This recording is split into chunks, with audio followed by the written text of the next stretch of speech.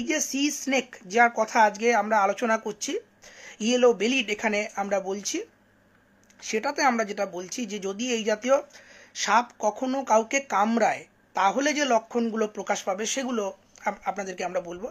যে মোটামুটি আপনারা ধরে নিতে পারেন যে তিরিশ মিনিটের মধ্যেই আপনার শরীরে মারাত্মক ধরনের জ্বালা যন্ত্রণা এবং ব্যথা শুরু হয়ে যাবে। তো এই জাতীয় যদি সাপ কখনো কাউকে কামড়ায়, তাহলে শরীরের মধ্যে তিরিশ মিনিটের মধ্যেই দেখা যাচ্ছে জ্বালা, যন্ত্রণা, ব্যথা মারাত্মক ধরনের শরীরের মাংসপেশির মধ্যে শুরু হয়ে যাচ্ছে। তার সঙ্গে আরও বেশ কিছু লক্ষণ আপনাদের প্রকাশ পেতে পারে। যেমন ধরুন, আপনারা যে আপনাদের যে মাসেল মানে পেশি, সেগুলো স্টিফ হয়ে যাবে, শক্ত হয়ে যাবে। মুখ যদি আপনারা খুলতে চান, তখন দেখবেন যে মুখটা খুলতে পারছেন না। ঠিকমতো মুখটা খুলতে গেলে প্রচণ্ড শক্ত হয়ে যাচ্ছে। অথবা আরও একটা লক্ষণ প্রকাশ পেতে পারে, সেটা হচ্ছে পেচ্ছাপের যে রং মানে মূত্রের যে রং, সেটা কিন্তু ব্রাউন কালারের হয়ে যেতে পারে। তো এইগুলো বিভিন্ন রকমের যে লক্ষণ, সেগুলো প্রকাশ পেতে পারে। তার সঙ্গে ধরুন হৃৎপিণ্ডের সমস্যা, কিডনির সমস্যা, এগুলোও প্রকাশ পেতে পারে। তাই আমরা বলব, যদি এরকম দেখা যায় যে সমুদ্রে গিয়ে আপনারা ওই সি স্নেক আপনাদের কামড়ালো, এটা একটা হিস্ট্রি অথবা সমুদ্রে স্নান করার পর যদি দেখা যায় যে আপনার তিরিশ মিনিটের মধ্যে আপনি দেখতে পাচ্ছেন যে আপনার মানে আপনি মুখটা খুলতে পারছেন না, আপনার সারা শরীরে মারাত্মক ধরনের যন্ত্রণা শুরু হয়েছে, ঠিক আছে? এই রকম যদি আপনি দেখেন বা মানে মাসেলগুলো আপনার শরীরটা স্টিফ হয়ে যাচ্ছে, এইরকম যদি লক্ষণ দেখেন, তাহলে আপনি কিন্তু একটু সময় নষ্ট না করে আপনারা সরাসরি কিন্তু আশেপাশে যে স্বাস্থ্যকেন্দ্র, হসপিটাল, সেখানে আপনারা কিন্তু অবশ্যই চলে যাবেন। তো আমরা প্রথমেই যেটা আপনাদেরকে বলব যে সাপ সম্বন্ধে আমরা খুব সংক্ষেপে দু তিনটে কথা আমরা একটু বলে দিই আপনাদেরকে। সেটা হচ্ছে, কিছু কিছু সাপ আছে যারা হচ্ছে রক্তের সমস্যা তৈরি করে। কিছু কিছু সাপ আছে তারা নার্ভের সমস্যা তৈরি করে। এবার যারা রক্তের সমস্যা তৈরি করে, তাদের ক্ষেত্রে দেখা যায় বিভিন্ন অঙ্গ প্রত্যঙ্গ থেকে রক্তক্ষরণ হচ্ছে এবং খুব সমস্যা তৈরি হচ্ছে। যাদের ক্ষেত্রে যেসব সাপ কামড়ে নার্ভের সমস্যা হচ্ছে, তাদের ক্ষেত্রে দেখা গেল, চোখটা ঠিকঠাক করে খুলছে না হ্যাঁ একটা ঝিমঝিম ভাব জিপটা ভারী হয়ে যাওয়া, শ্বাসকষ্টের প্রবলেম নিঃশ্বাস মারাত্মক ধরনের কষ্ট হওয়া, এই জাতীয় লক্ষণ দেখা যায়। আর এক রকমের সাপ আছে, তারা কি করে, আমাদের মাসেল বা পেশি, তার সমস্যা তৈরি করে।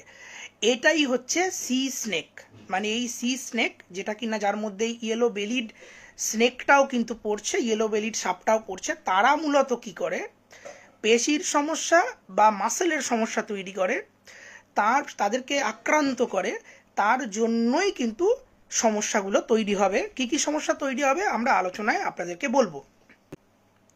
আর একটা যেটা বলা, যেহেতু আমাদের এই সাপ কাউকে কামড়ালে যে ইঞ্জেকশনটা দিতে হয়, তার নাম হচ্ছে এভিএস মানে anti snake venom serum injection এই যে এটা ইন্ডিয়ান যে এভিএস সেটাকে তৈরি করার সময় মূলত যেটা করা হয়েছে যে হিমাটোটক্সিক আর নিউরোটক্সিক এই স্নেক বাইটগুলোকে কভার করা আছে। মানে যারা রক্তকে আক্রান্ত করে এবং যারা নার্ভকে আক্রান্ত করে, এই দুটো সাপের ক্ষেত্রেই সেটা কিন্তু কার্যকারী হবে। এরকম করে করা রয়েছে।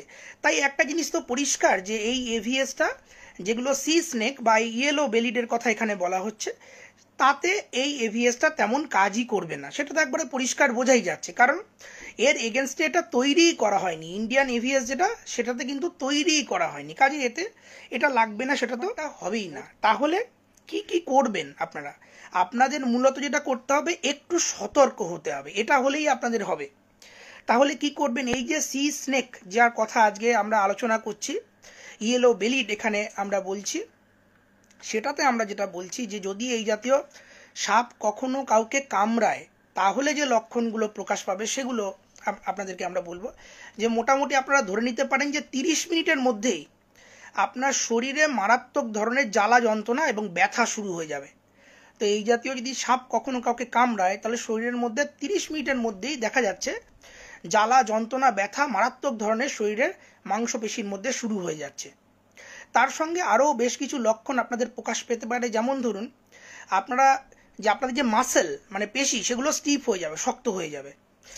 মুখ যদি আপনারা খুলতে চান, তখন দেখবেন যে মুখটা খুলতে পারছেন না। ঠিকমতো মুখটা খুলতে গেলে প্রচণ্ড শক্ত হয়ে যাচ্ছে। তাহলে যাদের ধরুন, অথবা আরও একটা লক্ষণ প্রকাশ পেতে পারে, সেটা হচ্ছে পেচ্ছাপের যে রং মানে মূত্রের যে রং, সেটা কিন্তু ব্রাউন কালারের হয়ে যেতে পারে। তো এইগুলো বিভিন্ন রকমের যে লক্ষণ, সেগুলো প্রকাশ পেতে পারে। তার সঙ্গে ধরুন, হৃৎপিণ্ডের সমস্যা, কিডনির সমস্যা, এগুলোও প্রকাশ পেতে পারে। তাই আমরা বলব, যদি এরকম দেখা যায় যে সমুদ্রে গিয়ে আপনারা ওই সি স্নেক, আপনাদের কামড়ালো, এটা একটা হিস্ট্রি অথবা সমুদ্রে স্নান করার পর যদি দেখা যায় যে আপনার তিরিশ মিনিটের মধ্যে আপনি দেখতে পাচ্ছেন যে আপনার মানে আপনি মুখটা খুলতে পারছেন না, আপনার সারা শরীরে মারাত্মক ধরনের যন্ত্রণা শুরু হয়েছে, ঠিক আছে? এই রকম যদি আপনি দেখেন বা মানে মাসেলগুলো আপনার শরীরটা স্টিফ হয়ে যাচ্ছে, এইরকম যদি লক্ষণ দেখেন, তাহলে আপনি কিন্তু একটু সময় নষ্ট না করে আপনারা সরাসরি কিন্তু আশেপাশের যে স্বাস্থ্যকেন্দ্র হসপিটাল সেখানে আপনারা কিন্তু অবশ্যই চলে যাবেন। তো এখন একটা জিনিস আপনাদেরকে আমি বলি যে এটা একটা সতর্কতামূলক। তার মানে এমন নয় যে আপনি আপনার বন্ধু, বান্ধবী বা ফ্যামিলি মেম্বার বা বাচ্চা কাচ্চাদের নিয়ে এখন থেকে যখন আপনারা সমুদ্রে যাচ্ছেন বা সমুদ্রে স্নান করতে যাচ্ছেন বা দীঘায় যাচ্ছেন, আপনারা জানেন যে এখন দীঘাইতে ওই এরিয়াটা অনেকটাই ইম্প্রুভ হয়েছে এবং ওখানে মানুষজন, আমরাও গেছিলাম, তো সেখানে গিয়ে দেখছি খুবই ভালো একটা ব্যবস্থা তৈরি হয়েছে। ওখান দিয়ে সুন্দর করে হাঁটা যাচ্ছে। হ্যাঁ রিক্রিয়েশনের ব্যাপার রয়েছে, খাবার দাবার রয়েছে। হ্যাঁ বাচ্চা কাচ্চারা গেলে বা ফ্রেন্ডস বন্ধু, বান্ধবী ফ্যামিলি সবাই মিলে গেলে খুবই আনন্দ আপনারা করতে পারবেন। তো আপনারা যদি আনন্দ সেখানে যাচ্ছেন, ঘুরতে যাচ্ছেন, সবসময় যদি আপনাদের মনে এটা প্যানিক হয়ে যায় যে, এবার গেলেই মনে হয় আমাদের সাপে কামড়াবে, সেটা তো একবারই ডিজায়ারেবল নয়। তো এই জাতীয় আপনারা বেসিক্যালি ভাববেনই না যে আমরা ওইখানে গেলেই আমাদের সাপে কামড়াবে। এরকম একেবারেই ভাববেন না, আপনারা নিশ্চিন্তভাবে যান। একটা জিনিস আমরা বলে দিই, যে সি স্নেক ইয়েলো বেলিড যে স্নেক যেটা দেখতে পাওয়া গেছে, তারা অ্যাকচুয়ালি খুবই শান্ত স্বভাবের সাপ। তাদেরকে যদি কেউ বিরক্ত না করে বা ডিস্টার্ব না করে, তারা কিন্তু ওরকম করে কামড়াবে না। আপনারা একটা জিনিস ভাবুন, যে আপনারা তো মানে হয়তো বছরে একবার বা কয়েক বছরে একবার মোটে সমুদ্রে যাচ্ছেন, আর যারা সমুদ্রে মাছ ধরতে যাচ্ছে তাদের কথা ভাবুন তো। যদি এই সাপ এতটাই সবাইকে কামড়াতো, তাহলে তো যারা সমুদ্রে মাছ ধরতে যাচ্ছে, তাদের তারা, তাদের তো মাঝে মধ্যেই কামড়াতো এবং তাদের পরিস্থিতি একবারে আশঙ্কাজনক হয়ে যেত। তার মানে যেটা বোঝা যাচ্ছে, এই সাপ একেবারে শান্ত স্বভাবের। এরা আপনাকে তেমন কিছু করবেই না, আপনাকে তেমন কামড়াবে না। আপনি যদি তাকে খুব বিব্রত করেন, খুব ডিস্টার্ব করেন, তখনই সে তার সেলফ ডিফেন্সে আপনাকে কামড়ানোর চেষ্টা করবে। আদারওয়াইজ যদি সেই সাপ আপনি আপনি দেখতেও পান, আপনি যদি সেই সাপকে কিছু না করেন, ওই আপনাকে, ওই সাপ কিছুই করবে না। তো কাজেই আপনারা এই জাতীয় ফার্স্ট অফ অল আপনারা গেলে হয়তো ন মাস ছ মাসে একবার হয়তো আদৌ সেই সাপের দেখা পাবেন কি না সেটাই একটা বড় সড়ো প্রশ্নচিহ্ন, কারণ আপনি প্রায় দেখতেই পারবেন না। আর যদি কখনো, খুব আনকমনভাবে যদি কখনো দেখেও ফেলেন তাহলে আপনারা তাকে একবারে ওই সাপকে ডিস্টার্ব করবেন না। আর যদি স্নান করার পর, সমুদ্রে স্নান করার পর যদি আপনাদের কখনো এরকম দেখা যায় যে হট করে মারাত্মক ধরনের গায়ে, হাতে পায়ে যন্ত্রণা শুরু হয়েছে, ব্যথা করছে, আপনাদের শরীরটা শক্ত হয়ে যাচ্ছে স্টিফ হয়ে যাচ্ছে, যদি মনে হয় মুখটা ওপেন করতে গেলে, হা করতে গেলে আপনাদের ব্যথা লাগছে, অথবা যদি দেখেন যে আপনাদের মূত্রের রংটা পরিবর্তন হয়ে গেল ব্রাউন কালারের হয়ে গেল, তবে আপনারা তৎক্ষণাৎ কোনো বিলম্ব না করে স্থানীয় কিন্তু হসপিটালে চলে যাবেন। অথবা যদি দেখেন সাপ সত্যিই কামড়ে দিয়েছে, তাহলে তো একেবারেই বিলম্ব করবেন না, চলে যাবেন। তাই আমরা এই যে মিডিয়ার যে নিউজগুলো আমরা দেখছি যে মানুষ বিভিন্ন রকমের শেয়ার করছে এবং অনেকেই আমি কমেন্টসগুলোতে দেখলাম যে মানুষ খুবই চিন্তায় পড়ে গেছে যে তাহলে কি আমাদের এবার দীঘাতে যাওয়া কি আমরা প্ল্যানটা ক্যান্সেল করে দেবো? আমি বলব একেবারেই প্ল্যান ক্যান্সেল করবেন না। ফ্রেন্ডস ফ্যামিলি বন্ধু, বান্ধবী যারা আপনারা যেতে চান, তারা নিশ্চিন্তে সেখানে যান। দীঘাতে খুবই এখন ভালো পরিবেশ। আপনারা গিয়ে যে, আপনারা যেরকম এনজয় করতে চাইছেন, আপনারা এনজয় করুন। মনে কোনো ভয় বা ভীতি রাখবেন না। শুধু আমরা এই ভিডিওতে যে লক্ষণগুলো বললাম, সেই লক্ষণগুলোই একমাত্র আপনারা মাথায় রাখুন যে, এই জাতীয় যদি হয়, সেক্ষেত্রে আপনাকে যেতে হবে। আদারওয়াইজ কোনো রকমের কোনো প্যানিক আপনারা এই সি স্নেক নিয়ে করবেন না। অ্যাকচুয়ালি এই সি স্নেকের যে মানে anti snake venom serum injection এদের এগেনস্টে আমাদের দেশে কিন্তু ইন্ডিয়ান যে এভিএস মূলত তারা কিন্তু এই হিমাটোটক্সিক নিউরোটক্সিকেই কাজ করে। মানে যারা রক্তের সমস্যা তৈরি করে যেসব সাপ, আর যে সমস্ত সাপ নার্ভের সমস্যা তৈরি করে, তাদের ক্ষেত্রেই একমাত্র ইন্ডিয়ান এভিএসটা কার্যকারী হয়, যেগুলো কিনা আমরা ধরুন হসপিটালে এখন আমরা প্রচুর স্নেক বাইট পেশেন্ট দেখছি। তো এমন তো নয় যে কারও স্নেক বাইট হয়েছে মানেই তাকে এভিএস দিতে হবে, সেরকমও কিন্তু নয়। আমরা কোনো রুগী যদি আমাদের হসপিটালে আসে, তাহলে আমরা দেখি যে রুগীর সমস্ত কিছু হিস্ট্রিটা শুনি, লক্ষণগুলো দেখি মানে লোকাল যে প্রোগ্রেসিভ যদি কোনো লক্ষণ পাওয়া যায় বা সিস্টেমিক ম্যানিফেস্টেশন কিছু পাওয়া যায়, তারপরে টোয়েন্টি ডাব্লিউবিসিটি আমরা যেটা বলি twenty minute whole blood clotting test তার কোনো যদি অ্যাবনর্মালিটি দেখতে পারি, কোনো নার্ভের সমস্যা নিউরোলজিক্যাল ম্যানিফেস্টেশন দেখতে পারি, তবেই তো আমরা হসপিটালে তাদেরকে এভিএস দিই। মানে যেগুলো ধরুন হেমাটোটক্সিক বা নিউরোটক্সিকের ক্ষেত্রে, তাদের ক্ষেত্রে এভিএসটা আছে।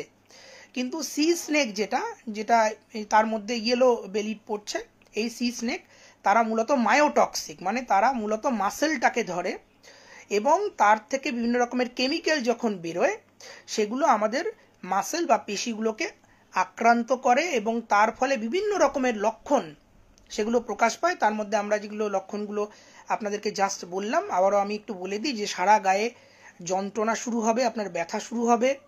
আপনি মুখটা একবারে খুলতে পারবেন না, শক্ত হয়ে যাবে, শরীরটা আপনার স্টিফ হয়ে যাবে।